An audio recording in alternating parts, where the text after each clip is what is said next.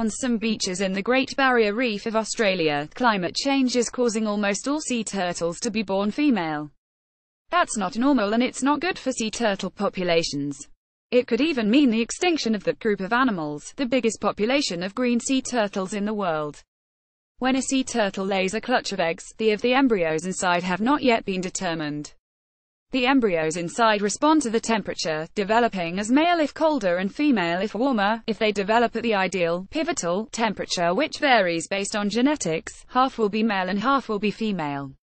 Well-wishers released sea turtles at the Sea Turtle Conservation Center as part of celebrations for the 65th birthday of the King of Thailand in Sattahip District, Chonburi Province, Thailand, on July 26, 2017.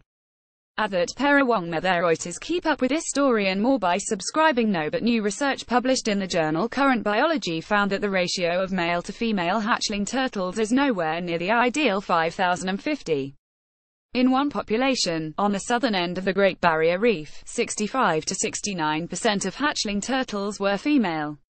That's already a skewed ratio, but it's not the worst case.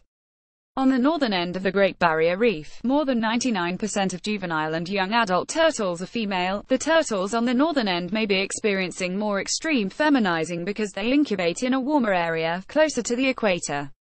Both live off the east coast of Australia. The problem is increasing with the generations. In the northern population, the ratio of adult green sea turtles is 87%, compared to 99% in young adults and juveniles.